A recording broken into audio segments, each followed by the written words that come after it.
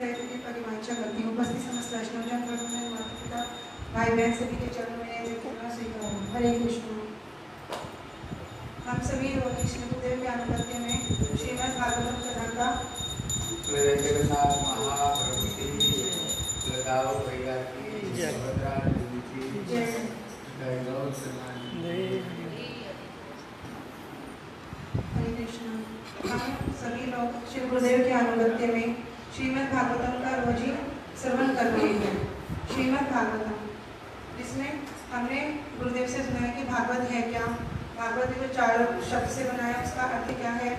और उसमें जो हमने बताया था महात्म्य चल रहा था जो जब नारद जी उनके पास जाते हैं चतुर्थ के पास जाके बद्र विशालपुरी में और उनको कथा का श्रवण कराते हैं तो वो बोलते हैं कि सबका श्रवण करने से क्या होगा? कि जो ज्ञान में रहते हैं, उनका जो बुढ़ापा है वो दूर हो जाएगा। और हरिद्वार में आनंद नामक घाट पर उस कथा का आयोजन किया गया, जिसमें सभी ऋषि, मुनि, योगी सब वहाँ पर उपस्थित हुए। सभी नदियाँ भी क्या हुआ, वहाँ पर मतलब वहाँ पे रूप धर के सब वहाँ पे उपस्थित हुए। और जब उस कथा को सबने वहाँ श्रवण किया तो जब वहाँ पे कथा चल रही थी, भक्ति देवी वहाँ पे आ गई और कथा की जब चल रही है तो सबके हृदय में विराजमान हो गई। तो जब वो कथा चल रही थी तो क्या कथा को सुनने से क्या है श्रवण मात्र करने से सबकी जो कथा के प्रति जो श्रद्धा है ना, वो दृढ़ होती जा रही है। और सात दिन तक ऐसे कंटिन्यू कथा वहाँ पर पूरी हुई जब सात दिन तक वहाँ पूरी कथा हुई तो वहाँ पर भगवान विराजमान हो गए अपने धाम को छोड़कर भगवान वहाँ पर आ गए। और भगवान वहाँ पर आगे के मतलब भगवान का वहाँ पर रूप का वर्णन किया गया है कि कैसे हैं कि उनके गले में वैजंती माला है और वहाँ सिर पर मौन मुकुट है कानों में कुंडल की झलक दिख रही है और कानों में जो है कुंडल की झलक है और क्या है कि मतलब उनके जो वक्ष स्थल है उसमें कौस्तुभ बनी है तो वहाँ पर भगवान के रूप का वर्णन किया गया है। और जब सभी ने भगवान के रूप को देखा तो वहाँ पे जय हो जय हो, वहाँ पे भगवान की जय ध्वनि होने लगी। जब नारद जी ने इस प्रकार देखा कि जो कथा की साप्ताहिक कथा की जो महिमा है, वो कितनी अलौकिक है कि जो दुष्ट लोग थे, जो पशु पक्षी भी थे, उनका भी क्या हुआ, उस कथा के माध्यम से क्या हुआ, उनकी भी गति हो गई। तब नारद जी कहने लगे कि आपने हे मुनिवर जो आपने जो जो महिमा को सुनाया है आपने जो इस कथा की महिमा को सुनाया है यह तो बहुत ही अलौकिक है।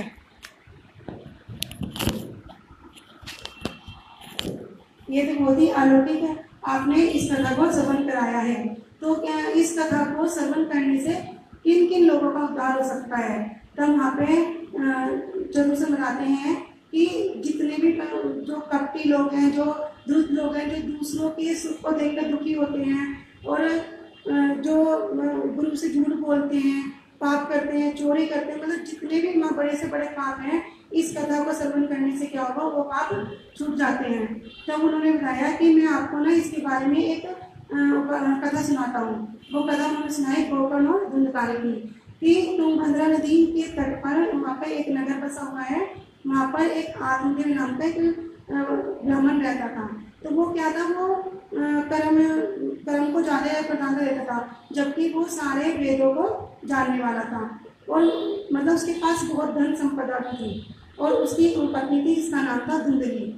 तो उसका नाम से उसके स्वभाव का पता लगता है कि वो क्या है, उसका स्वभाव कितना था मतलब दूसरों से लड़ना, कलह करना, उसका ही स्वभाव था।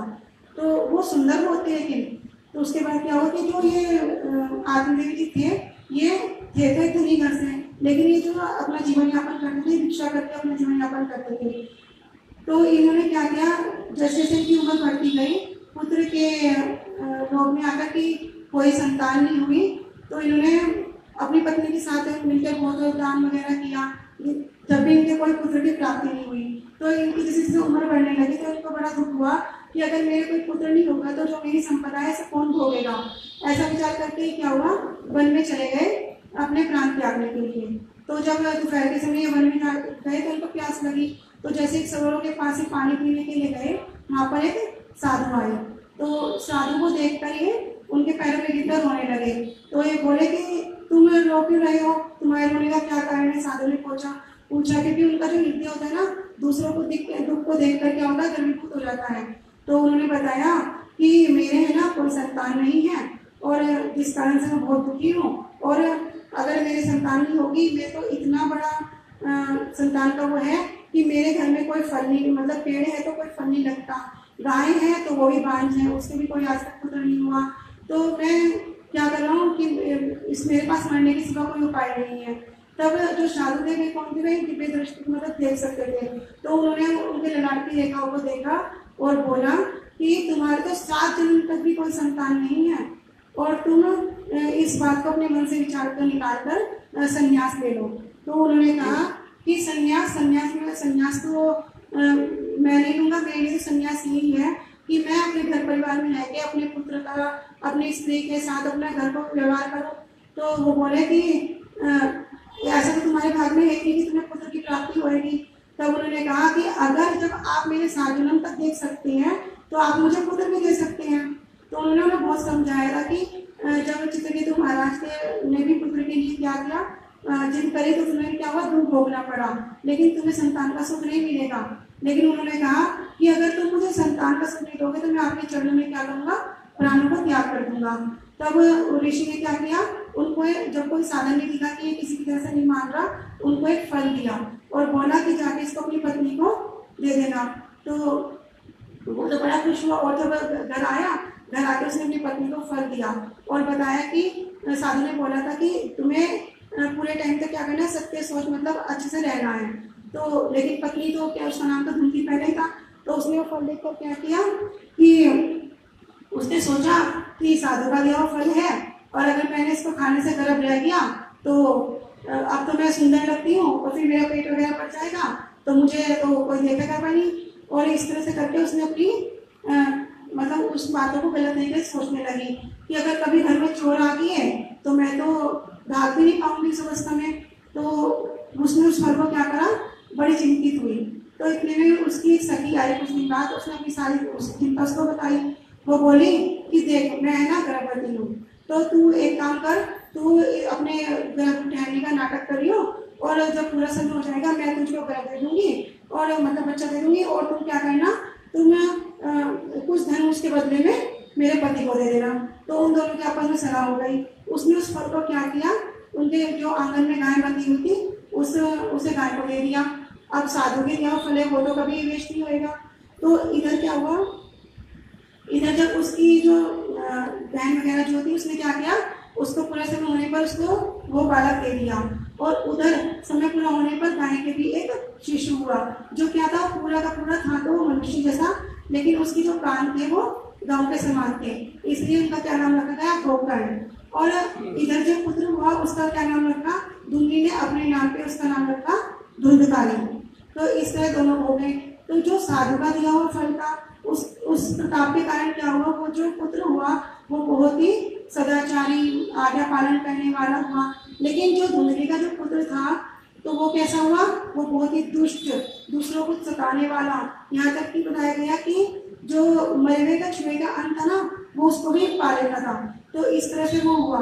ऐसे करते करते वो बहुत ही मतलब दूसरों को पीड़ा देने में उसे आनंद मिलता था। तो जब उसके पिता उसकी नौकरों से बहुत दुखी हुए और क्या हुआ कि वहाँ से कह, कह, मतलब कहने के समय ना मतलब अगर मुझे संतान नहीं होती तो वही मैं सही था।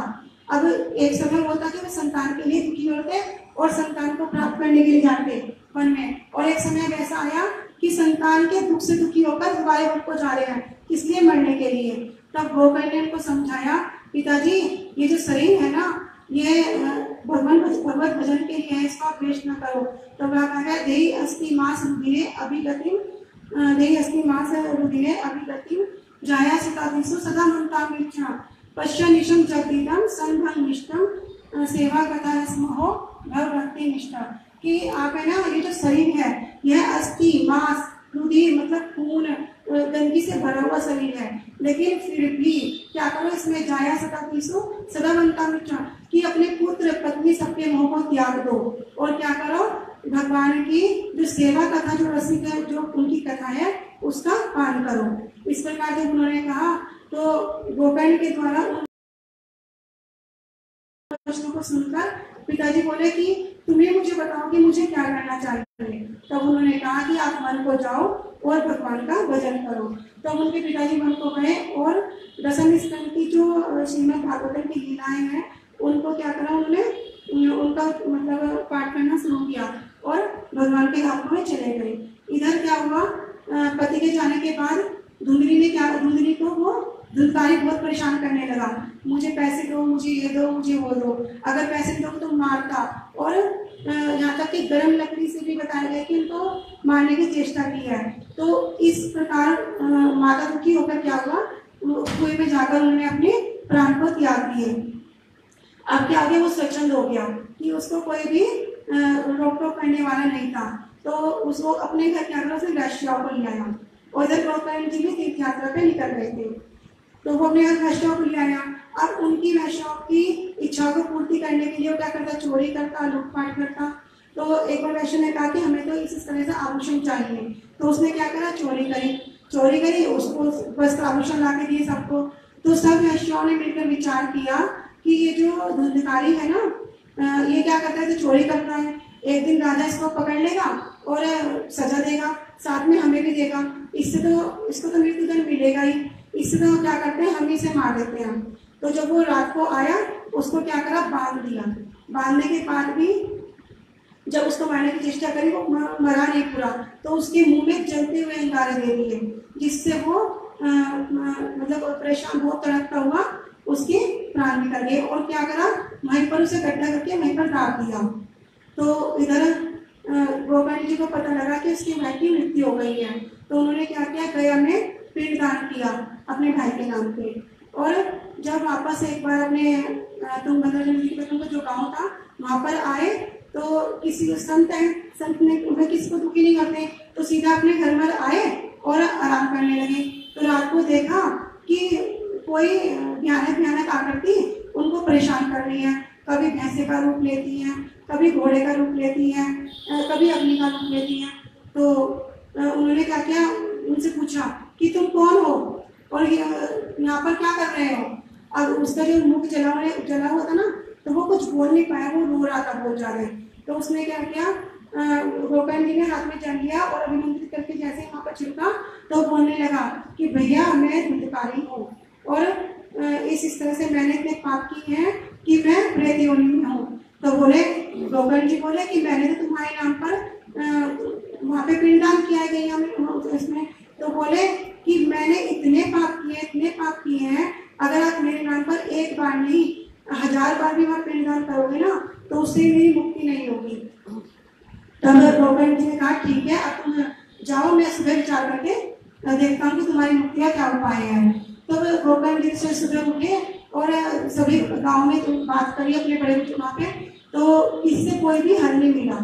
तब उन्होंने क्या करा, अपने तब के प्रभाव से सूर्य देव की गति को रोक दिया और सूर्य से पूछा कि जो प्रेत आत्मा में है, उसकी मुक्ति किस प्रकार होगी?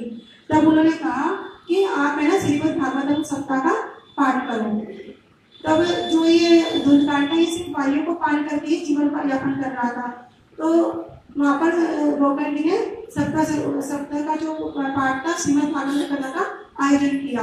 और धुंधकारी का था, हवा हवा का उसमें था तो वो टिक नहीं पा रहा था। तो उन्होंने एक बाँस लिया, उस बाँस में वो बैठ गया। उस बाँस की सात गांठ थी।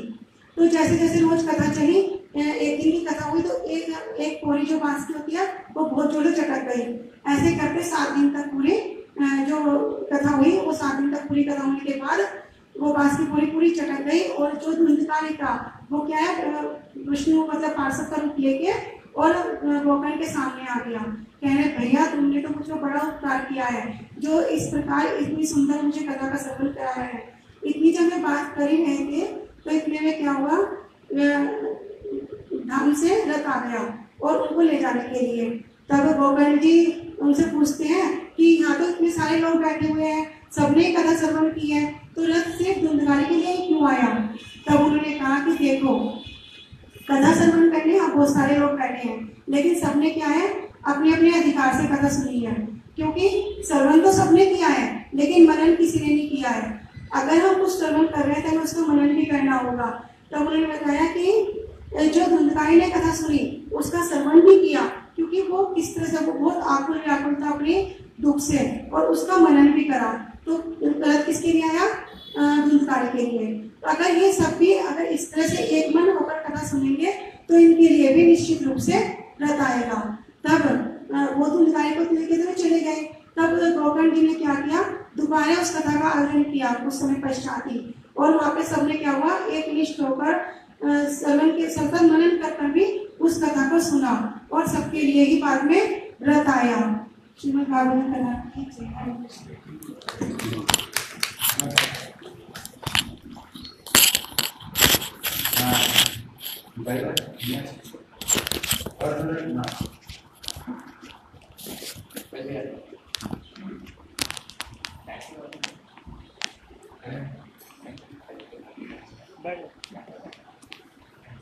हरे कृष्ण।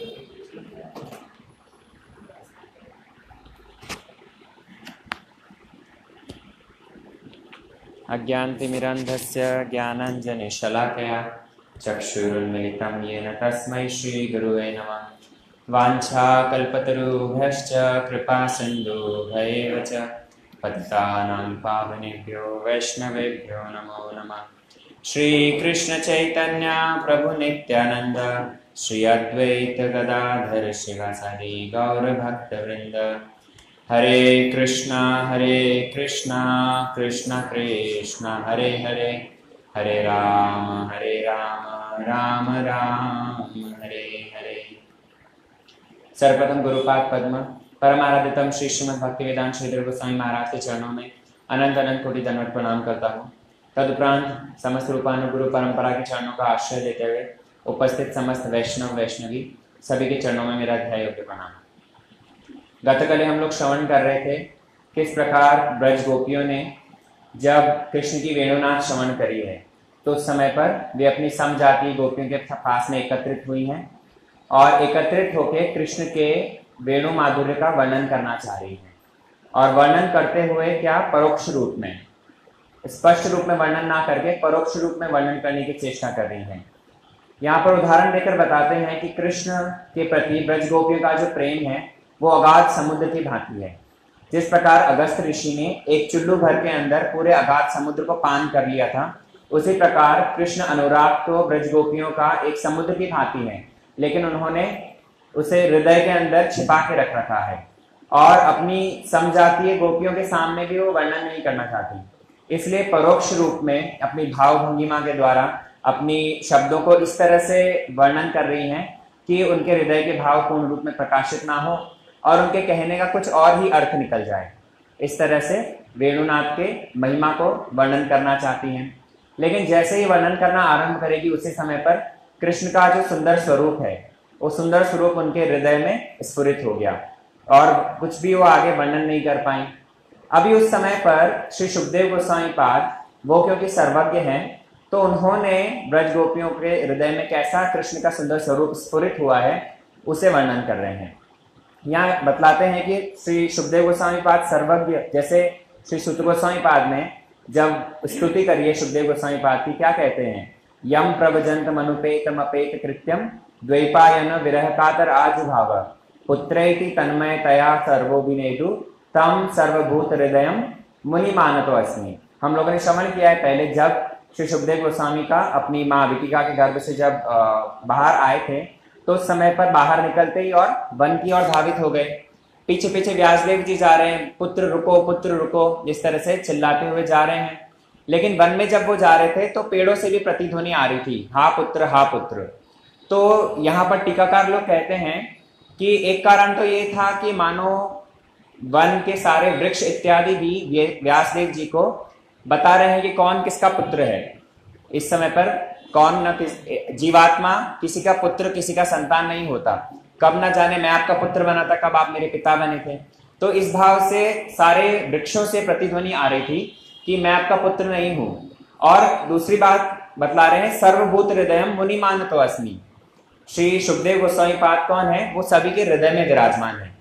जब सुत गोस्वामी, जब शौनकादि ऋषियों ने सुत गोस्वामी को प्रश्न किए तो उस प्रश्न का उत्तर देने से पहले अपने गुरुदेव की वंदना करते हुए सुत गोस्वामी ये कहते हैं।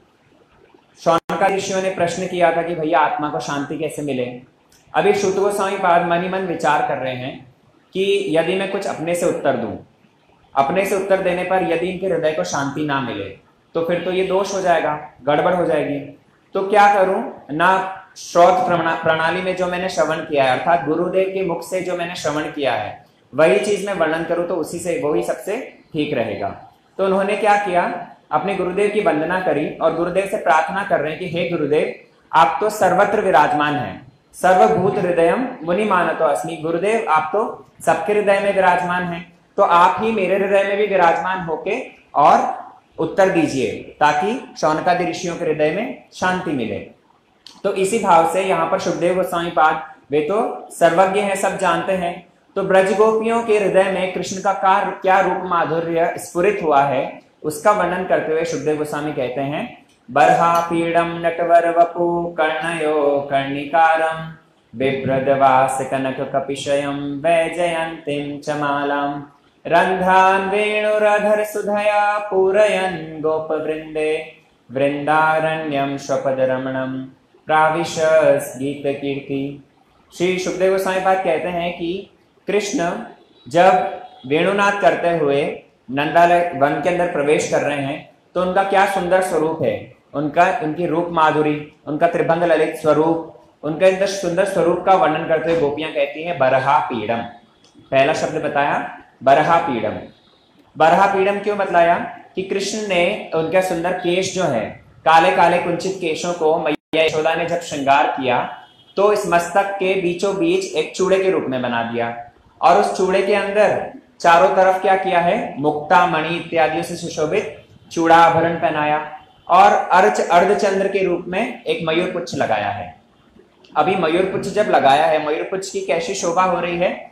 मानो काले काले मेघ, जलधर मेघ जिस प्रकार आकाश में छा जाते हैं और उन आकाश के बीच में क्या होता है? जब इंद्रधनुष सुशोभित होता है। ऐसे ही शोभा कृष्ण के मस्तक की हो रही है। कृष्ण के काले काले घुंघराले केश हैं और उस पर अर्धचंद्रवत मयूर पुच्छ है। तो मानो ऐसा लग रहा है साक्षात काले मेघों द्वारा आभासित इंद्रधनुष ही हो। यहाँ पर टीकाकार लोग बतलाते हैं कि कृष्ण मयूर पुच्छ क्यों धारण करते हैं? इसके कई कारण उन्होंने बताए। हम पहले भी श्रवण कर चुके हैं। पहला कारण बतलाते हैं कि मयूर कौन है? मयूर ब्रह्मचारी है। और कृष्ण को ब्रह्मचारी बड़े प्रसन्न है। बड़े पसंद है है ना? कृष्ण, क्योंकि ब्रह्मचारी किस प्रकार निष्काम होता है? ब्रह्मचारी, जो मयूर आप देखोगे, मयूर कभी भी मोरनी के साथ में सहवास नहीं करता। कहीं कहीं ऐसा सुना जाता है कि मयूर जब आनंद में मत होता है तो उसकी आँखों से जो अश्रु निकलते हैं, उन्हीं अश्रु का पान करके मोरनी गर्भ धारण करती है। तो इसलिए मयूर ब्रह्मचारी है। और कृष्ण, जिस प्रकार मयूर जिस प्रकार ब्रह्मचारी निष्काम होते हैं, कृष्ण को ब्रह्मचारी इसलिए ही प्रिय है। यहाँ पर शिक्षा भी देते हैं, देखो इस ब्रह्मचारी का आचरण कैसा होना चाहिए। हृदय में तो अनेक सारी कामनाएँ हैं, लेकिन बाहर से ब्रह्मचारी वेश सज के और अभिमान करते हैं, वृथा अभिमान, बोले ऐसा नहीं। तब कृष्ण आपको कभी भी स्वीकार नहीं करेंगे। यदि निष्काम रहोगे, तब जाकर कृष्ण स्वयं तुम्हें मस्तक पर धारण करेंगे। तो क्योंकि मयूर ब्रह्मचारी है, इसीलिए कृष्ण उससे मयूरपुच्छ को सिर पर धारण करते हैं। दूसरा कारण बतलाते हैं कि कृष्ण मयूर कम नृत्य करता है। आप देखोगे जब आकाश में काले काले मेघ छा जाते हैं और घड़गड़ घड़गड़ शब्द होता है, जब बिजली कड़कती है तो उस बिजली को देखकर और मयूर आनंद मयूर का हृदय आनंद में भर जाता है। तो वो अपने पंखों को फैला के और उस समय पर नृत्य करने लगता है। अभी कृष्ण का स्वरूप कैसा बतलाया है? कृष्ण को बतलाया नव जलधर घनश्याम रूप बताया कृष्ण का। जिस प्रकार काले काले मेघ होते हैं, ऐसा ही श्याम वर्ण कृष्ण का सुंदर स्वरूप है। और कृष्ण ने जो पीताम्बर पहन रखा है, वो पीताम्बर को बतलाया, जैसे आकाश में बिजली चमक रही है। बिजली चमकती ना जैसे? उसी प्रकार कृष्ण का पीताम्बर है। और कृष्ण जैसे वेणुनाथ करते हैं, जो मुरली की शब्द हो रहा है, उसको बतलाया जैसे मेघ गड़गड़ गड़गड़ शब्द करते हैं। जब मेघ गरजते हैं, उसी प्रकार कृष्ण का वेणुनाद है। तो कृष्ण को देखने से मानो मयूर को वही नवजलधर मेघों की स्फूर्ति हो रही है। इसलिए उनको देखकर मयूर ने भी अपने पंख फैलाए, पंख फैला के नृत्य करने लगा। जब नृत्य करने लगा तो क्या हुआ? कृष्ण की वेणुनाथ सुन के तो नृत्य कर रहा है? तो उपहार स्वरूप कृष्ण को और कुछ देने को तो है नहीं तो अपना पंख झाड़ के ही कृष्ण को दे दिया। और कृष्ण ने क्या किया? क्योंकि प्रेम का प्रतीक है। उसने प्रेम वशता मयूर ने प्रेम वशता उसको मयूर पुच्छ दिया है। तो इसीलिए कृष्ण ने उस प्रेम की वस्तु को सबसे सर्वश्रेष्ठ अपने मस्तक पर धारण किया। अपने मस्तक पर धारण किया। और एक कारण बतलाते हुए कहते हैं कि श्रीमती राधा रानी भी कभी मयूरनी बनी थी। श्री, हम लोग जाते हैं ना गहवर वन में, बरसाना। वहाँ की ये लीला है। गहवर वन में कभी राधा कृष्ण दोनों मिले हैं रात्रि के समय पर। पूर्णिमा की रात्रि थी। आकाश में पूर्ण चंद्र सुशोभित हो रहा था। श्रीमती राधा रानी ने कृष्ण से कहा कि, हे श्याम सुंदर, तुम मेरे रूप का कुछ वर्णन करो। तुम मेरे रूप का कुछ वर्णन करो। तभी कृष्ण ने विचार करके, अभी राधा रानी कितनी सुंदर है। राधा रानी अपूर्व सुंदरी, जो साक्षात कृष्ण को भी आनंदित कर देती है आकर्षित कर लेती है वशीभूत कर लेती है तो उनका रूप माधुर्य कैसा होगा? अपूर्व सुंदर। तो कृष्ण मनी मन विचार करने लगे और चंद्रमा की ओर देखने लगे। और पूर्ण चंद्र को देखकर कृष्ण वर्णन करना चाह रहे हैं कि, हे श्री जी आपका श्रीमुख कैसा है? चंद्र के समान। चंद्राननी। कृष्ण कहना चाह रहे चंद्राननी। लेकिन क्या हुआ? श्री जी का मुख देख रहे हैं और कह रहे हैं, चंद्रा चंद्रा बोला और उसके बाद में कुछ रुक गए। और फिर कहते हैं, आननी। बोलना चाह रहे थे, चंद्राननी। लेकिन चंद्रा कहने के बाद में थोड़ा सा पॉज दे दी, रुक गए। तो श्रीमती राधा रानी को लगा कि अच्छा चंद्रावली का स्मरण कर रहे हैं। बस, इतना ही सब होना था और श्री जी ने तो मान कर लिया।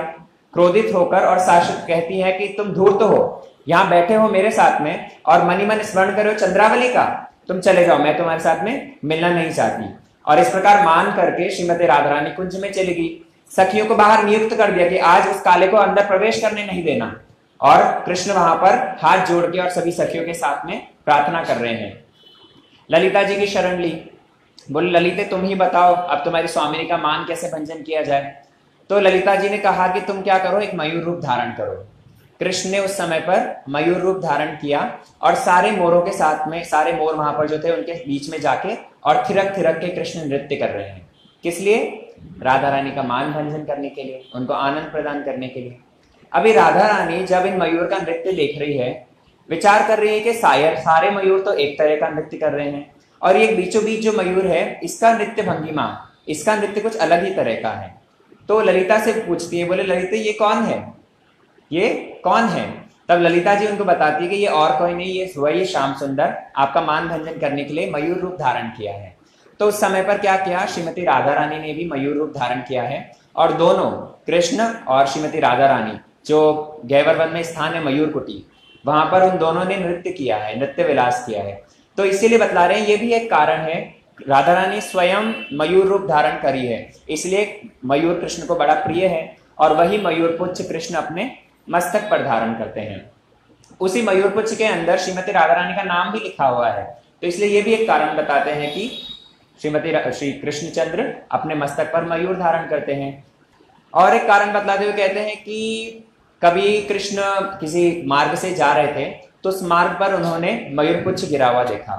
तो मयूरपुच्छ मानो कृष्ण से प्रार्थना करते हैं कि देखो, निराश्रय माम जगदीश रक्ष, आप तो इसी तरह से आपकी ख्याति है कि आप जिन जो अनाश, जो निराश्रय है, जिनका कोई आश्रय नहीं है, आप उनको आश्रय प्रदान करने वाले हो। तो कृष्ण ने उस समय पर क्या किया है? उस मयूर पुच्छ को अपने सिर पर धारण कर लिया है। तो इसलिए अनेक अनेक कारणों के द्वारा कहते हैं कि कृष्ण सर पर मयूर पुच्छ धारण करते हैं। बरहा पीड़म। बाद में कह रहे हैं, नटवर वपु। नटवर वपु। तो ब्रज गोपियाँ यहाँ पर विचार कर रही हैं कि कृष्ण का स्वरूप क्या है? जब वन के अंदर प्रवेश करते हैं सखाओं के साथ में तो कृष्ण स्वाभाविक नृत्य भंगिमा में चलते चलते और एक नटवर की भांति चल रहे हैं। ब्रज गोपियाँ यहाँ पर विचार कर रही है कि इस त्रिभुवन में कौन ऐसा नट होगा, कौन ऐसा सुंदर नटवर होगा जिसके साथ में हम कृष्ण की तुलना कर सकें। है ना? क्योंकि शिव जी को बतलाया है नटराज। शिव जी का एक नाम है नटराज, क्योंकि नृत्य कला में निपुण है। लेकिन उन्हीं नटराज के भी गुरु साक्षात कृष्ण है। है ना? तो ब्रज गोपियाँ यहाँ पर विचार कर रही है। देखो कंपैरिजन करते वक्त क्या होता है? जैसे कृष्ण के श्रीअंग की तुलना करी गई है एक कमल से, है ना? नाभि कमल, हस्त कमल, चरण कमल। तो क्या होता है साधारणतः कि जिससे हम तुलना करते हैं, वो अधिक सुंदर होता है, अधिक श्रेष्ठ होता है। जिससे तुलना करते हैं, उसको बताते हैं उपमान, उसको कहते हैं उपमान। और जिसकी तुलना कर रहे हैं, उसको कहते हैं उपमेय। तो साधारण जगत में क्या होता है कि उपमान उपमेय से श्रेष्ठ होता है। लेकिन यहाँ पर पूरा विपरीत है। श्री गोपियाँ वर्णन कर रही हैं, कृष्ण को कृष्ण को कह रही है, नटवर वपु। तो यहाँ पर अनिमन विचार कर रही कि उनका स्वरूप नटवर जैसा है, ना वो ही साक्षात नटवर स्वरूप है। है ना? जैसे कृष्ण को बताया कमल के साथ में तो क्या वो साक्षात कमल ही है, या कमल के साथ में उदाहरण देकर तुलना कर रही हैं? तो यहाँ ब्रज गोपियाँ तय नहीं कर पा रही कि भैया हम नटवर बापू जो कह रहे हैं, क्या वो ठीक है? क्योंकि वन में जब कृष्ण प्रवेश कर रहे हैं तो इनको देखकर, उनके श्रीअंग को देखकर ऐसा लगता है कि उनके सारी अंग प्रत्यंग ही नृत्य भंगिमा में नृत्य कर रहे हैं। कृष्ण जब वन में प्रवेश कर रहे हैं तो सारे सखाओं के साथ में उनके चरण सुंदर सुंदर आगे चलते चलते नृत्य भंगिमा में है। चरणों में जो उन्होंने नुपुर पहन रखे हैं, मणियुक्त नुपुर पहन रखे हैं, वो नुपुर भी रुनझुन शब्द करते हुए नृत्य कर रहे हैं। कृष्ण ने जो पीताम्बर पहन रखा है, वो पीताम्बर भी नृत्य कर रहा है। वक्षस्थल पे जो वैजंती माला है, वो वैजंती माला भी नृत्य कर रही है। कानों में मकराकृत कुंडल पहन रखे हैं, वो मकराकृत कुंडल भी नृत्य कर रहे हैं। चंचल हिरण की भांति कृष्ण की आँखें हैं, वो आँखें भी इधर उधर घूमते हुए नृत्य कर रही हैं। कृष्ण ने जो घुंघराले केश हैं, वो केशावली भी नृत्य कर रही हैं। कृष्ण की इस नृत्य भंगिमा को देखकर सारे धेनु समूह, सारे वृक्ष, पल्लव, पुष्प, सारे सखा, वे भी नृत्य कर रहे हैं। अरे सखी, क्या बताऊँ? गोपियाँ कहती है कि इस सुंदर नृत्य का स्वरूप जो एक बार श्रवण करता है, उनके हृदय में भी कृष्ण साक्षात विराजमान होकर और नृत्य करने लग जाते हैं। इसलिए नटवर वपु, वो कोई नटवर नहीं, साक्षात नटवर ही स्वरूप है। किसी नट से उनकी तुलना नहीं की जा सकती, वो साक्षात नटवर स्वरूप है। इसलिए कह रहे हैं, नटवर वपुहु फिर कहते हैं कर्णयो कर्णिकारम कर्णयो अर्थात दो कान, कर्णयो द्विवचन है, लेकिन कर्णिकारम कर्णिकारम अर्थात एक एक वचन। तो कृष्ण जब वन में प्रवेश करते हैं तो दोनों कानों में से किसी एक कान में, एक कान में ही कनेर का पुष्प धारण कर रखा है। या कनेर का पुष्प ही क्यों धारण किया? इसके भी कई कई कारण बतलाते हैं। देखो, इस भू भूमंडल पर स्थित कनेर का पुष्प, कनेर का पुष्प देखा है आप लोगों ने? कैसा ऊपर से ऐसे खुला हुआ होता है, पीले रंग का, सफ़ेद रंग का, है ना? तो इस भूदल भूत यहाँ पर पृथ्वी पर स्थित कनेर पुष्प क्या होता है? वो सूर्य के अनुरूप अपना गति करता है है ना? उसका मुख किस प्रकार? सूर्य के प्रति अभिमुख होके और सूर्य जिस जिस तरह से अपनी दिशा बदलता है, उसी के अनुरूप कनेर का पुष्प भी अपनी गति बदलता है। तो यहाँ पर मानो ब्रज गोपियाँ भी बता रही हैं कि हम भी कृष्ण के प्रति क्या है? हम पूर्ण रूप से उनके प्रति अभिमुख करके। उन्हीं उन्हीं को एकमात्र अपना आश्रय मान के और उनको अपना सर्वस्व सौंप चुकी हैं। और जिस प्रकार कनेर का पुष्प उनके अल्हड़पन को भी दिखाता है। कृष्ण अभी क्या है? कैशोर अवस्था में प्रवेश किया है है ना? तो कैशोर अवस्था के पुरुष का बड़ा अल्लड़पन का स्वभाव होता है और बड़ा चंचल होते हैं। तो ये दोनों कानों में से एक कान में जो उन्होंने कनेर पुष्प धारण किया है, यही उसका कारण है। और एक कारण बतलाते हैं कि गौचारण करने, करते जाते समय, अभी ब्रज गोपियों से विरह होगा। कृष्ण तो जा रहे हैं वन में तो ब्रज गोपियों को मानो इंगित कर रहे हैं। आज इस तरफ़ कनेर का पुष्प लगाए तो ब्रज गोपियों को इंगित कर रहे हैं कि आज मैं इस तरफ़ गौचारण के लिए जाऊँगा। तुम भी दूध, दही, माखन, सब छप्पन भोग लेके और उसी तरफ़ मेरे से मिलने के लिए आ जाना। तो इसलिए कह रहे हैं कर्णयो कर्णिकारम। फिर कहते हैं विभ्रदवास कनक कपिशयम। इसके आगे की व्याख्या फिर हम कल सुनेंगे फिर हम गुरुदेव के मुखारवन से श्रवण करेंगे आगे। वांछा कल्पतरु से कृपा सिंधु पे से परिणाम का वैष्णव गुरु सावा साथ हो गया आपके।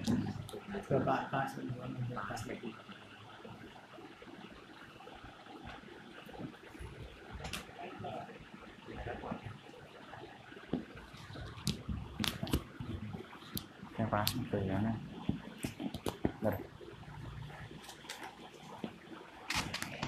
ना त्वमज्ञानतिमिरान्धस्य ज्ञानाञ्जनशलाकया चक्षुरुन्मिलितं येन तस्मै श्रीगुरवे नमः।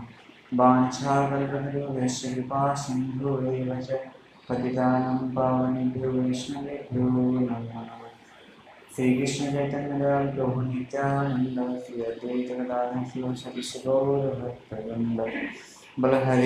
कृष्ण हरे कृष्ण कृष्ण कृष्ण हरे हरे हरे राम हरे राम राम राम, हरे सबसे पहले गुरुपाद पद्म, ओम विष्णुपाद अष्टोत्तर श्रीमद भक्ति श्री गुरु गुरु महाराज के चरण में साष्टांग प्रणाम कृपा वंशा करता हूँ। तत्पश्चात परम गुरुदेव वर्ग गुरुपाद पद्म सपरिकर गौर नित्यानंद प्रभु, राधा गोविंद जी सतीर्थ गुरु वैष्णवृंद वैष्णवीवृंद भक्तवृंद समस्त चरणों में आदम का यथा दंड प्रणाम स्वीकार पहले हम श्रवण कर रहे थे, किस प्रकार गर्गाचार्य इन्होंने नामकरण के उद्देश्य से ब्रज में आते हैं और ये जब गोकुल में आए तो उसी क्षण में ये नंद बाबा उनको बड़े स्वागत किए और प्रणाम करते हुए बोलते हैं, महत विचलनाम निर्णाम घृणाम दीन चेतसाम मिश्रे श्याम भगवान कल्पते नान्य था क्वचित कि आप जैसे महाभागवत आप जैसे आप जैसे वैष्णव आप जैसे साधु का केवल दर्शन दर्शन से ही आप क्या करते हो? पवित्र करते हो। दर्शन में पवित्र करो, हे तुम्हार गुण। और आप जैसे महाभागवत, हम जैसे गृहस्थ के घर में इसलिए आते हो कि हम जैसे दीनहीन के ऊपर आपकी कृपा दृष्टि हो और आप कुछ हमें शिक्षा प्रदान करें। तो वहाँ पे किस प्रकार नामकरण करते करते जब इन्होंने ध्यान लगाए कि ये कौन है ना, बलराम प्रभु को देख के बलराम नामकरण किया, बलदेव प्रभु का नामकरण किया, यहाँ तक श्रवण किए थे। तब वहाँ पे एक नाम बता रहे हैं कि बलदेव प्रभु का एक नाम बता रहे हैं संकर्षण और बता रहे हैं कि ये रोहिणी का भी पुत्र है और ये देवकी माता का भी पुत्र है।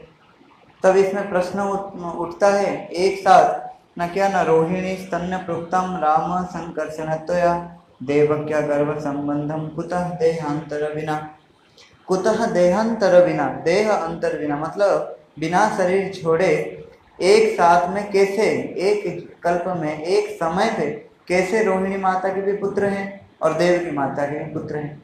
तब तो वहाँ पे श्री विश्वनाथ चक्रवर्ती ठाकुर बात वर्णन कर रहे हैं। न कृष्ण कौन है, न कृष्ण है सर्वभोक्ता। और ये बलदेव प्रभु कौन है? ना हर समय कृष्ण के लिए सेवा के उद्देश्य से आते हैं। बलदेव प्रभु कौन है? ना संधिनी शक्ति के ये अधिष्ठात्र देवता है। यानी ये एक सत्ता है। तो इनका जो सत्ता ही नहीं रहेगा, तब कृष्ण इस जगत में आएँगे क्यों? तो ये बलदेव प्रभु कृष्ण के सेवा के लिए दस प्रकार से नियुक्त होते हैं। छत्र, आसन, पादुका, चामर, व्यंजन और धाम के स्वरूप में और कठोर के स्वरूप में। ये हर तरीके से कृष्ण की सेवा करते हैं। और इसका एक कारण भी और यहाँ पे है कि जिस समय राम अवतार में राम जी के साथ ये संकर्षण, मूल संकर्षण जो बलदेव प्रभु, ये लक्ष्मण रूप में आए थे।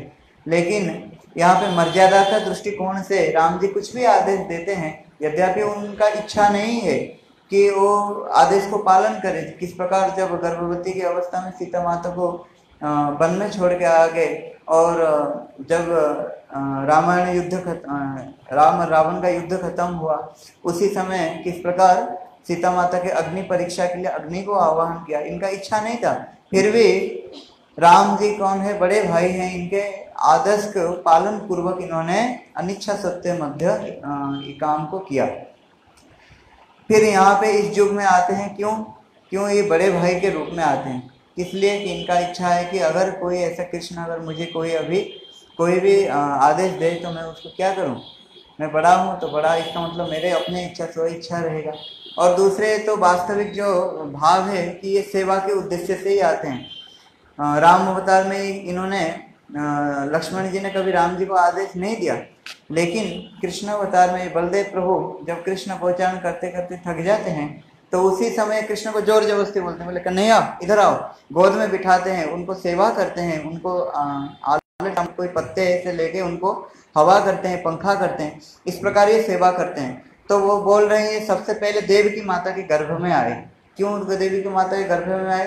क्योंकि अभी देव की माता के गर्भ में ठाकुर जी आने वाले हैं, एक कारण बता रहे तो वहाँ पे आसन डालने के लिए तो सबसे पहले देव की माता के गर्भ में आए। फिर उसके बाद इन्होंने जोग माया देवी के द्वारा संकर्षित होने के संकर्षित होके श्री रोहिणी माता के गर्भ में स्थापित हो गए। इसलिए संकर्षण होने के कारण एक ही समय पे देव की माता के गर्भ से संकर्षित हो गए और रोहिणी माता के गर्भ में प्रवेश किए। तो इसीलिए इनका नाम संकर्षण भी है। अब बलदेव प्रभु का नामकरण हो गया।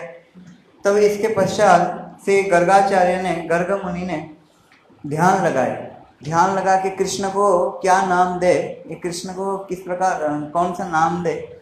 ये ध्यान देख के देख के सोच रहे हैं कि भाई देख, देखूँ ये कौन है? तो देख रहे हैं भगवान का अनंत कोटि स्वरूप है, भगवान का अनंत कोटि नाम है। जो सचिदानंद भक्तिनाथ ठाकुर कहते हैं कि, सुना है रसिक जन कृष्ण गुण अगन अनंत कहते ना ही पारे। कि जो अनंत देव है, वो अनंत देव का अनंत सहस्र फण है। और एक फन में उनका दो जीवा है। और दो जीवाओं करते हैं, भगवान का नए नए नाम को जप करते हैं। सहस्र बदन फनी जहर गुण गाय सहस्र बदन शेष जहर गुण जहर गुण गाय कि हर समय भगवान का महिमा का गुणगान कर रहे हैं, करते आ रहे हैं। फिर भी इस प्रकार का अनंत, हरि अनंत, हरि कथा अनंत, हरि नाम अनंत, इस प्रकार भगवान के अनंत नाम है। तो ये सोच रहे भाई इनका कौन सा नाम दिया जाए? और इनको कौन से नाम पे बुलाया जाए? तो इन्होंने ध्यान करते करते भगवान इस प्रकार का ध्यान में मग्न हो गए कि वो भगवान का एक एक स्वरूप को गर्गाचार्य हृदय में देख रहे हैं। तो उसी समय नंद बाबा ने सोचे यशोमती मैया ने सोचे, क्या मेरे लाला का कोई नाम ही नहीं है क्या? ये गर्गाचार्य त्रिकालदर्शी और ये सर्वोज्ञ तो इन्होंने तो पहले से ही इनको पता चल गया कि मेरे गोद में बलदेव प्रभु है। और रोहिणी माता की गोद में कृष्ण है। तो मेरे लाल, लाला का इन्होंने नामकरण क्यों नहीं कर रहे हैं? क्या कोई नाम नहीं है क्या? क्या ऐसे ही रह जाएँगे? तब नंद बाबा ने उनको फिर से प्रणाम किया जैसे ही प्रणाम करते हैं तो नंद बाबा को प्रणाम करने के पश्चात वहाँ पे क्या होता है ना, गर्गाचार्य का समाधि खुल जाता है। अब समाधि खुलते ही वो बोलते हैं कि क्या? ना आसन बन्न त्रयो ही जस्य गृहते अनुगम तनु शुक्ल रक्त तथा पीतम इदानी कृष्णताम गता। कि तुम्हारे, हे नंद बाबा, तुम्हारे ये पुत्र हर युग युग में आते हैं, हर युग युग में अवतीर्ण होते हैं। और ये कौन न सत्य युग में ये आए हैं? सत्य रूप में ये शुक्ल वर्ण के रूप में आए हैं।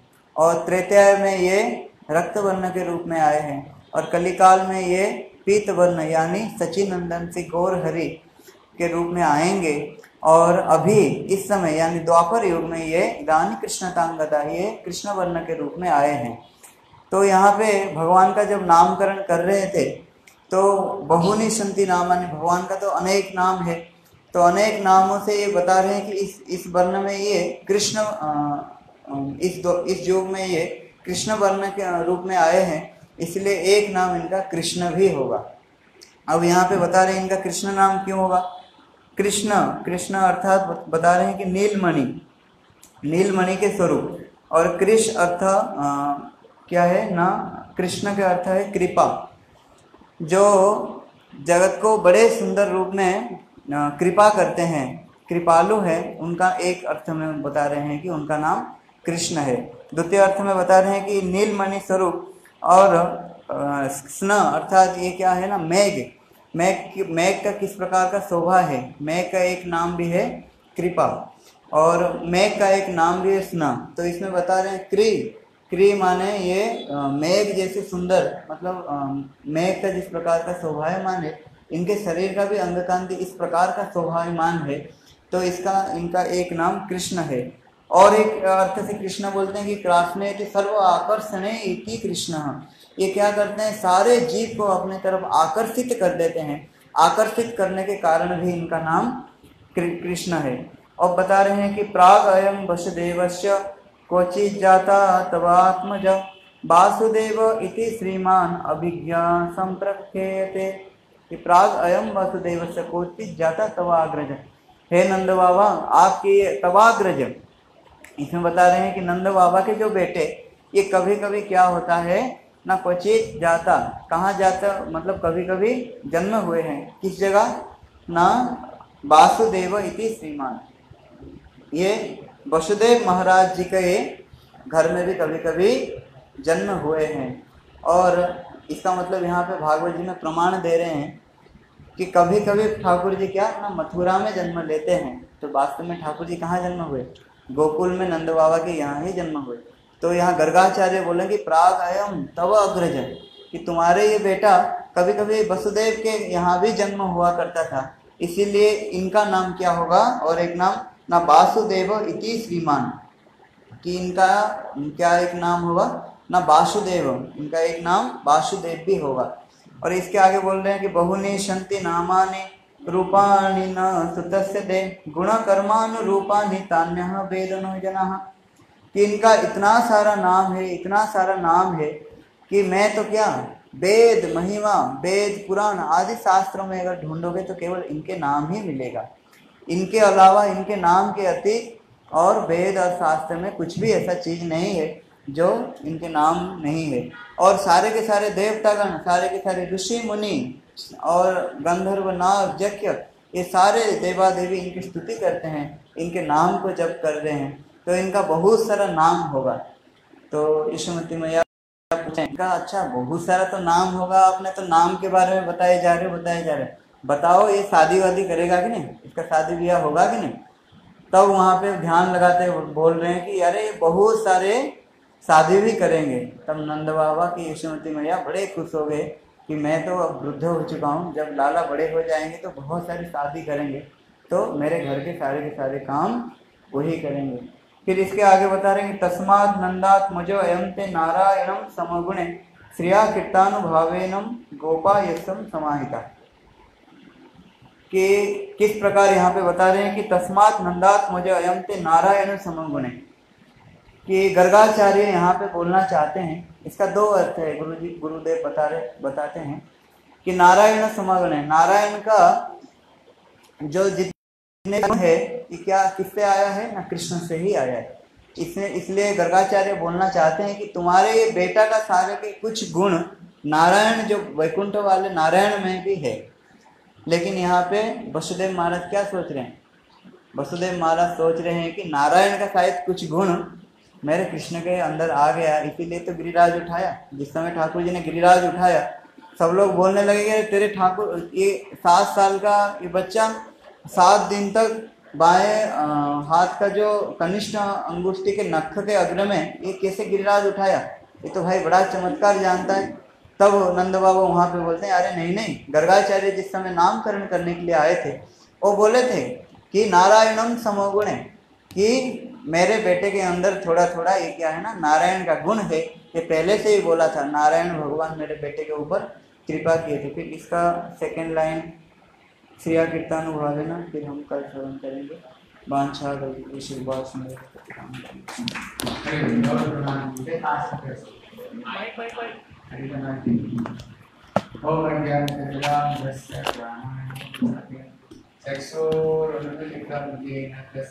श्रीगुरवे नमः गुरवे गौरचन्द्राय राधिकाय कृष्णाय कृष्ण कृष्णभक्ताय तद्भक्ताय नमो नमः। बल, हरि कृष्ण हरि कृष्ण कृष्ण कृष्ण, हरि हरे हरे राम हरे राम राम। ज़ोर से बोलो।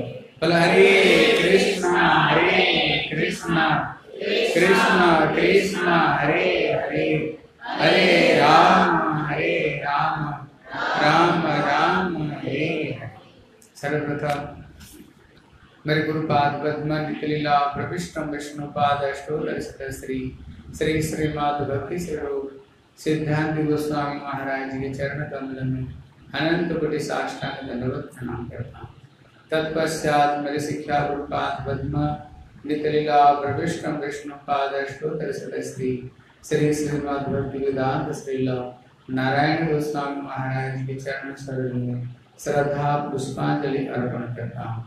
उपस्थित समस्त वैष्णव वैष्णवियों को यथायोग्य प्रणाम करता हूँ। हरे कृष्ण। हम लोग गतकल्य श्रवण कर रहे थे।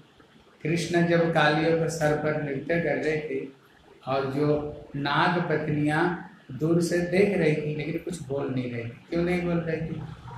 कहते, भक्ति तो करता नहीं और हमें भी भक्ति करने नहीं देता। अगर मर जाए तो अच्छा है। हाँ विधवा रही कोई चिंता नहीं। लेकिन जब देखा उसका पति वैष्णव हो गया, कृष्णा चरण में झूम गया बोले ऐसे पति होनी चाहिए। क्योंकि दोनों पति पत्नी फिर मिल करके हम भगवान की भक्ति कर सकते हैं। इसलिए यहाँ पर श्री विश्वनाथ चक्रव ठाकुर अपना टीका में कहते हैं कहते यहाँ पर कृष्ण जो कालिए के सर पर नृत्य किया, उसका कारण किया है? उसका कारण कहते हैं, उसका कारण बताया अभी कृष्ण रासलीला करना चाहते हैं। कृष्ण का सर्वश्रेष्ठ लीला रासलीला। कृष्ण सोच रहे, भैया, अकेला तो मैं रासलीला कर ही नहीं सकता हूँ। जब तक हमारे साथ में ब्रज गोपियाँ अब ये ब्रज गोपी को मैं आकर्षण कैसे करूँ? इसलिए कृष्ण ने दो लीला पहला लीला तो उन्होंने गिरिराज को उठाया। है, सात साल का बालक, सात क्रोश गिरिराज और सात दिन तक कैसे उठाए? बोले, कनिष्ठ अंगुल पर। बोले, कनिष्ठ अंगुल नहीं अपना नख को ऊपर में श्री गिरिराज उठा लिया। बोले, गिरिराज महाराज की इसलिए जिसको ब्रज गोपियाँ देख करके बोले हमारे बड़ा पराक्रमी है। इसलिए यहाँ पर उदाहरण देते हैं अगर जैसे सिनेमा में कोई हीरो जब किसी हीरोइन की मन को आकर्षण करना चाहता है, वो क्या करता है? वो हीरोइन को सामने अपना बहादुर दिखाएगा। हैं? इसलिए कुछ लोगों को इकट्ठे कर खूब मारपीट करेगा। मारपीट करके सबको भगा देगा। और जो हीरोइन होगा देखता वाह वाह बड़ा पराक्रम है। कहते इसलिए ब्रज का हीरो कौन है? हीरो कौन है? कृष्ण एक, और सब ज़ीरो है। कोई जगत में हीरो नहीं, कृष्ण हीरो है। और हीरोइन ये ब्रज गोपियाँ है। इसलिए कृष्ण सोच रहे थे कि मन को मैं आकर्षण कैसे करूँ? एक तो गिरिराज उठाया, और दूसरा उन्होंने ये कालिए के सर के ऊपर उन्होंने नृत्य की कृष्ण दिखाया बड़े बड़े कलाकार दिखे होंगे, हैं, लेकिन इस सांप के सर के ऊपर में किसको नाचते हुए कभी नहीं देखे होंगे। इसलिए यहाँ पर कहते जो पूर्व रागवती, जो ब्रज सुंदरिया हैं, उनको कला विद्या प्रदर्शन करा के, उनको मन को उन्होंने आकर्षण करना कृष्ण चाह रहे थे इसीलिए दिखाया, देखो बड़े बड़े कलाकार देखो सांप के ऊपर में किसको नाचते हुए कभी देखे हो? देखो। इसलिए मैं कौन हूँ? नटबर उनका जो बर मतलब पति, कौन है बोले, श्री कृष्ण कन्हैया। इसलिए उन्होंने कालियों के सर के ऊपर में कृष्ण ने नृत्य की। जब कृष्ण नृत्य की, नृत्य करने पर तब यहाँ पर फिर प्रश्न करते हैं, बोले, भैया, ये कालियो तो इतना दुष्ट था। इनकी पत्नी कथा सुनाया करते थे कृष्ण को, लेकिन ये तो मानता नहीं। बड़ी खाल प्रकृति का था, बड़ी दुष्ट प्रकृति का था। इसलिए जो दुष्ट प्रवृत्ति का लोग भगवान की भक्ति नहीं करते हैं, इसलिए कृष्ण गीता में कहते हैं, बोले, चार तरह का व्यक्ति तो मेरे भजन करेगा, लेकिन चार तरह का व्यक्ति मेरा भजन नहीं करेगा। कृष्ण कहते मेरे भक्ति कौन नहीं करेगा? कहते, चार तरह का व्यक्ति, बोले, वो कौन कौन है? बोले, न माम दुष्कृत, न बूढ़ा जिनके पूर्व पूर्व जन्म में पाप होगा ना, वो भगवान भजन नहीं करेगा। है? इसलिए कृष्ण कहते हैं जन पूर्व सत जन्मम वासुदेव समर्चनम तन्मुखे हरिनामानी सदा तिष्ठति भारत हे अर्जुन, वही व्यक्ति मेरे नाम को उच्चारण कर सकता है, जिसने पूर्व जन्म में सौ जन्म तक ठाकुर जी की अर्चन सेवा पूजा वही व्यक्ति इसी जीवन में मेरे नाम को वही जप कर सकता, पापी व्यक्ति नहीं कर सकता। पापी का मुँह में भगवान के नाम नहीं निकलेगा, हैं? इसीलिए कहते नाम दुष्कृति, या अत्यंत दुष्कृत परायण। वो कौन कौन? बोले, पहला नंबर बूढ़ा। बूढ़ा मतलब होता मूर्ख। है? जो अत्यंत मूर्ख व्यक्ति मेरा भजन नहीं करेगा नाम दुष्कृत मूढ़ा प्रबदन थे नराधमा। जो इंसान में जो सबसे जो गिरा हुआ व्यक्ति, जो पतित व्यक्ति, जो अत्यंत पाप कर्म किया, वो मेरे भजन नहीं करेगा। प्रपदंत नराधमा मतलब मायायाम अपरहित ज्ञान। जिसको माया ने सारे बुद्धि जिसका भ्रष्ट कर दिया, जिनकी अकल नाम का कोई चीज़ है नहीं। कल आसुरी भाव आश्रित जो राक्षस स्वभाव होगा, वो मेरा भजन नहीं करेगा। जैसे एक तरफ़ में रावण, एक तरफ़ में विभीषण। क्या रावण का दो सिंह था? क्या विभीषण का कोई सिंह नहीं था? नहीं। कहते, स्वभाव से पता चलता है। इसलिए कहते कृष्ण भक्त भवेद सुर असुर तत् विपर्जय। इसलिए कृष्ण कहते राक्षस कौन, देवता कौन है? बोले, राक्षस वे हैं जो मेरे भजन नहीं करते हैं। बोले, देवता कौन है? बोले, जो मेरा भजन करते वही देवता है। इसलिए यहाँ पर प्रश्न करते हैं, ये जो कालिय तो बड़ा दुष्ट था, ये खाल प्रकृति का था, हैं? खाल प्रकृति का था। अभी प्रश्न होता है, उसके हृदय में फिर कृष्ण का चरण में इस शरणागत कैसे हो गया। इसका कारण कहते हैं, कहते इनकी जो पत्नियाँ कृष्ण भक्त थी, ये बीच बीच में ना कृष्ण कथा सुनाया करती थी, बोल देखो, कृष्ण बड़े सुंदर हैं, कृष्ण बड़े प्यारे हैं, कृष्ण बड़े मीठे हैं, कृष्ण बड़े कोमल स्वभाव के, कृष्ण की सुंदर सुंदर कथा बीच बीच में सुनाया करती थी। और भक्त थी, बोलती थी, भगवान, कृष्ण की भक्ति करनी चाहिए भगवान, लेकिन दुष्ट होने का ना तो भजन नहीं करता था। लेकिन जब भगवान उसके सर पर नृत्य करना शुरू कर दिया, नाचना शुरू कर दिया, कहते कृष्ण का चरण कैसे है? सुन रहे थे ना ब्रह्मेश्वरादि जिनकी चरण कमल ब्रह्मा, शंकर, नारद हाँ इंद्र, चंद्र के लिए, जिनके चरण को पाने के लिए बड़े बड़े ऋषि, मुनि जोगी जोगेंद्र, सबके सब कठोर तपस्या करते हैं। न तब नखाग्र ब्रह्मा भी जिनकी चरण की नख की छठा तक को भी दर्शन नहीं कर पाते हैं। ऐसे भगवान की चरण और ऐसे चरण को अगर भगवान किसकी सर पर रखेंगे कोई साधारण बात है। इसलिए मानो जो भगवान उसकी सर पर चरणों को रखे ना, वो चरणों को रखते ही उदाहरण दिया। जैसे कोई उसर भूमि उसर समझते कि नहीं? हाँ? हाँ बंजर। कहते कोई बंजर जमी है, अगर वहाँ बीज बहुत पेड़ होगा, क्यों वो जमीनी ही बंजर है वो पेड़ नहीं होगा। लेकिन उसका था क्या हृदय था बंजर। लेकिन जब कृष्ण ने किया कि जब नृत्य की और उसको जो पत्नियों ने जो कथा सुनाया करती थी मानो उसका हृदय में कृष्ण भक्ति भी बीज तो हो गया था लेकिन था उसका हृदय बंजर भूमि। लेकिन कृष्ण का चरण पड़ते ही वो जो बंजर भूमि ना वो उसर भूमि हो गया। हाँ, उपजाओ उपजाओ और ज़मीन उपजाओ भूमि हो गया। बस कृष्ण का चरण स्पर्श होते ही मानो पानी का काम किया, उसमें अंकुर आ गया। दो पत्ते इसमें दो पत्ते आ गए, फिर उसमें धीरे धीरे धीरे टहनिया आ गई और धीरे धीरे धीरे फूल और धीरे धीरे कृष्ण प्रेम का फल लग गया, है? कृष्ण प्रेम का फल लग गया। फल लगने के नाते अभी इनके हृदय में जो भक्ति आ गई, है? कृष्ण की भक्ति आ गई। फिर पत्नियों ने क्या किया? देखो भैया, लगता है हमारा पति मर गया मुँह तो कौन उल्टी रहा मर जाएगा। कृष्ण तो मार डालेंगे, लेकिन सौभाग्य वसत हमारा जो पति है, अभी भक्त हो गया, वैष्णव हो गया। ऐसे पति रहनी चाहिए, इसलिए क्योंकि हम बड़ी सुंदरी है, अगर किसकी पत्नी सुंदरी हो, कम उम्र में पति मर जाए, दूसरे पुरुष उसके ऊपर में बुरे नज़र से देखना शुरू कर देते हैं। हमारे ऊपर में कोई आक्रमण नहीं करे, इसलिए ऐसे पति होनी चाहिए। उन्होंने किया कि अपना जो छोटे छोटे बच्चे थे ना, वो बच्चों को आगे कर दिया। बोले बच्चों को भी कर दिया। बोले कारण है किसकी घर में अगर पति कम उम्र में मर जाए, अगर उसको घर में बच्चे बच्चे पालना करना बड़ा कठिन। पत्नी तो घर का काम करके बच्चों को कहाँ पालना करेगी इसलिए कहते हो सकते हैं प्रभु बच्चे को देखेंगे ना, इसके हृदय में दया की भावना आ जाएगी। इसलिए उन्होंने बच्चों को सामने कर दिया। सामने करके बोले, प्रभु, अगर हमारे पति को मार डालो हम विधवा हो जाएगी। अब देखो छोटे छोटे हमारे बच्चे हैं। ये बच्चे को कौन पालना करेगा? इसलिए प्रभु, हमारे पति को आप छोड़ दो। कृष्ण ने कहा, देखो, इसको मैं नहीं मानूँगा। क्योंकि तुम लोग उसकी पत्नी हो, तुम लोग भक्ति करते हो, भजन करते हो। लेकिन इसके मन में जो अभिमान था, मैंने ये अभिमान को दूर करना चाह रहा था। इसलिए मैंने नृत्य किया, इसको मैं नहीं मारूँगा तुम्हारे पति को मैं छोड़ दूँगा। तो उसी समय में नाग पत्नियाँ बड़ी सुंदर सुंदर बात करती हैं। बोले, नायभी, दंड अस्मि, स्तवावतार फल रिपुम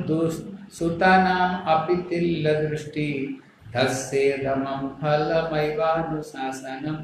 कहते न्याय ही दंड कृत कीलिसास्मि बोले, प्रभु, आपने इनको जो दंड दिया है ना, ये सही इनको जो दंड दिया आपने, सही दंड दिया। बल्कि वैसे बोल रहे हो? मतलब अभी प्रभु को खुश करना, जैसे कोई व्यक्ति को खुश करना, भैया, तुमने जो क्या, सही किया माफ़ कर दो, गलती हमारी है, गलती तुम्हारी है नहीं। इसको अगर खुश करना है, इसे बोलना पड़ता है ना? अपना को झुक जाना पड़ता भाई प्रभु, आप इसको जो दंड दिया, सही दंड दिया। इसमें कोई गलती नहीं है। दुष्ट था, दुष्ट को तो दंड देनी चाहिए। हम नीचे झुक जाते हैं ना, इसलिए कहते प्रभु, न्याय हुई दंड इसलिए आपने इसको सही दंड दिया। इसके जो पाप था, इसको पाप को नष्ट करने के लिए आपने सही दंड दिया। क्योंकि प्लस तबावतार खल निग्रह आपने क्यों जगत में अवतीर्ण हुई अवतीर्ण का यही कारण है, परित्राणाय साधुना विनाशाय दुष्कृता। धर्म संस्थापना अर्थाय संभवामी जुगे जुगे इसलिए प्रभु आप युग युग में अवतीर्ण होते हैं भक्तों को रक्षा करने के लिए और दुष्टों को दंड देने के लिए आते हैं। इसलिए यही जगत में आप अवतीर्ण हो। लेकिन प्रभु, आप तो बड़े दयालु, आप बोले रीप को सुताना अपितुल्य दृष्टि। भगवान को कह रहे भगवान सभी को ऊपर में बराबर रूप में देखते हैं। भगवान की जगत में कोई मित्र नहीं होते, कोई शत्रु प्रभु का नहीं। क्योंकि हम तो सबके सब भगवान के तो बच्चे ही ना। कहते तुम्हें माता च पिता तुम्हें तुम्हें बंधु सखा तुम्हें जगत पति जगन्नाथ है ना? इसलिए उनका नाम तो जगन्नाथ है, क्योंकि जगत का पति सबका पिता माता ठाकुर है। लेकिन भगवान क्या करते हैं? कहते रिपु सुताना अपितुल्य दृष्टि प्रभु। एक आश्चर्य बात आपका अंदर में, आपका तुल्य दृष्टि, बराबर, कैसे उदाहरण दिया? कहते आप शत्रु का जो पुत्र है, उसको प्रति भी आप तुल्य दृष्टि देते हो। कहते उनका शत्रु कौन था? बोले हिरण्य कश्यप उनका बेटा कौन था? प्रहलाद। प्रहलाद, दुष्ट का पुत्र था प्रहलाद। लेकिन ठाकुर जी को ऊपर कृपा किया कि नहीं? कृपा किया। लेकिन आपका बेटा कौन था? नरकासुर। भगवान जब बराह अवतार में, जब ये पृथ्वी रसातल चली गई थी, जब ब्रह्मा जी सृष्टि करना चाह रहे थे, मन महाराज, लेकिन पृथ्वी तो रसातल में चली गई। भगवान बराह अवतार ली, है? और पृथ्वी को उन्हें ला करके धुरी पर स्थापन किए। उसी समय में जब भगवान बराह अवतार लिया था, जब पृथ्वी को उन्होंने उठाया ना, प्रभु का संस्पर्श से ये पृथ्वी की गर्भ से ये नरकासुर ने जन्म ग्रहण किया। लेकिन ये बड़ा दुष्ट था नरकासुर। उसने जितने सब राजकुमारियों को, हैं, बोले कृष्ण जैसे सोलह हज़ार, है, जैसे कृष्ण सोलह हज़ार एक सौ आठ पटरा शादी किया ना, और उन्हें रास रचा, हम भी करेंगे शादी ऐसे। और जितने सुंदर सुंदर राजकुमारी को पकड़ पकड़ करके उन्होंने क्या किया था? उन्हें लाया था। और जितने राजा लोग थे ना पकड़ पकड़ के उनको दंड उनको कारागार में दंड किया था। बोले, एक सौ आठ हो जाएगा ना, सब उसको बलि चढ़ाऊँगा। है? लेकिन भगवान ने क्या किया? लेकिन बेटा किसका? बोले, कृष्ण का बेटा। लेकिन कृष्ण का बेटा होने का नाते भी बेटा उनका है। लेकिन चूँकि वो दुष्ट था, दुष्ट होने पर भी भगवान क्या क्या? नरकासुर को उन्होंने वध किया। यहाँ पर शिक्षा देते हैं, भगवान के से तुल्य दृष्टि सबको बराबर रूप में। ऐसे नहीं, ये मेरा बेटा है भले ही जो कुछ होता बेटा है, भले नहीं अगर बेटा हो, अगर दुष्ट भी होगा, भगवान उसको भी वध करते हैं। लेकिन मेरे कोई शत्रु होकर अगर उसको बेटा भक्त होता है ना, भगवान का मेरे भक्त है। शत्रु कौन? हिरण्य बेटा कौन? प्रहलाद। लेकिन भगवान ने क्या किया? प्रहलाद में ठाकुर जी, कृपा की है। इसलिए यहाँ पर कहते धस ने दमम फल वैवान वैवान सनम। इसलिए प्रभु, आप सबको ऊपर में, आप कृपा करते हो आप बड़े दयालु हो। बोले तत्त सुतप्तम कि मने न पूर्वम बोले, प्रभु, ये कालिय ने ऐसे किया पूर्व जन्म में पुण्य किया था, जो कि आपका उसके सर पर आपने नृत्य किया है। ऐसे कौन सा पुण्य किया था? क्योंकि जिस चरण को पाने के लिए बोले, बिहाय कामान सुचिर धृत प्रता लक्ष्मी वैकुंठ को छोड़ दी और वैकुंठ को छोड़ करके बेलवन में गए हो? कौन कौन बेलवन में गए? भगवान कोई भी नहीं क्या करते हो कल है? इसलिए बेलवन में जानी चाहिए। जहाँ पर लक्ष्मी तपस्या करती है, हर समय लक्ष्मी को देखोगे, हर समय उसका हाथ है सबको, सबका आशीर्वाद देती है। हैं? लक्ष्मी सबका आशीर्वाद देती है। लेकिन केवल बैल वन में देखोगे, हाथ जोड़ कर बैठी, तपस्या कर रही बोले, क्यों? किस लिए? बोले, भगवान के चरणों को पाने के लिए कठोर कहते, अभी तक भी कहीं सत्य युग से अभी तक भी बैठ करके लक्ष्मी तपस्या कर रही है, कृष्ण का चरण कैसे मिले लेकिन वो चरण अभी तक अभी नहीं मिले। इसलिए यहाँ कहती जिस चरण को लक्ष्मी कठोर तपस्या करती है, ये कालियों ने इसे कौन सा पुण्य किया, ठाकुर जी? आप उसके सर पर भगवान जब नृत्य कर रहे थे ना, कालियो क्या कर रहा था? बारंबार भगवान के चरण को अपना सर से हटाने के लिए कोशिश कर रहा था। मेरे सर से हटा दो, क्यों? इतने ज़ोर से ठोकर मार रहे थे प्रभु। खून की उल्टी हो रही थी। मेरे चरण से सर से हटा दो। लेकिन भगवान क्या कर रहे थे? बारंबार नहीं चाहने पर भी इसका जो सर ऊँचा करता था, उसी सर को नीचा करके उसको ऊपर चढ़ जाते थे। नहीं चाहने पर भी क्या कर रहे थे? आप उसको सर पर नृत्य कर रहे थे। लेकिन ऋषि मुनि लोग चाहने पर भी हमारे हृदय में ठाकुर आए, लेकिन भगवान का चरण नहीं आता है। तब तो उन्होंने ऐसे कौन सा पुण्य की जिसकी वजह से आप उसके सर पर नृत्य किया ये कितने सौभाग्य प्रभु, ये कितने सौभाग्य इसको आगे कथा हम सुनेंगे। फिर भगवान कैसे काली गोबर में कृपा करते हैं।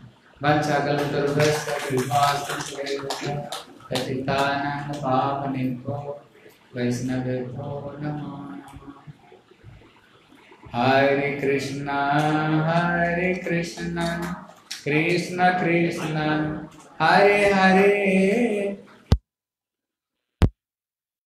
राम राम राम।